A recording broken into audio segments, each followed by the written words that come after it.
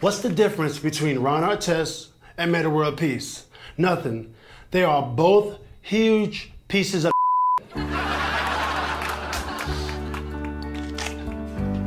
Whatever, man.